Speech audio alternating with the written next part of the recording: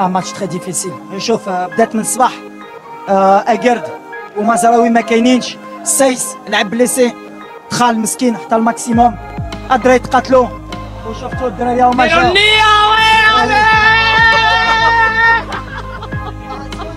كانوا رجال تاقوا تاقوا تاقوا تاقوا اللي مهم اللي مهم آه، اللي مهم هي المغرب demi-finale كنا بلاد الأول في افريقيا اللي كنا دوزنا les poules 86 دابا درنا دخلنا في demi-finale طلعنا الراية ديال المغرب والراية ديال l'Afrique ولا الراية ديال العرب.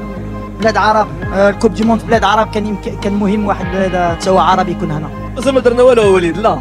لا لا مازال ما درنا والو. بالحق آه، دابا المغرب يقدر يتفرقع اليوم يبروفيتيو. يوجدوا راسهم ال demi-finale إن شاء الله. مبروك خويا مبروك. مباراة مثل هذه بالتأكيد. ليلة كانت غير عادية مباراة كبيرة. شكرا للاعبين على ما قدموه من أداء في مباراة اليوم. بالتأكيد أنني سعيد بالتعليق عليها وبالتأكيد أن الكثير مما تابعوها سعداء بحضور مثل هذه المباريات.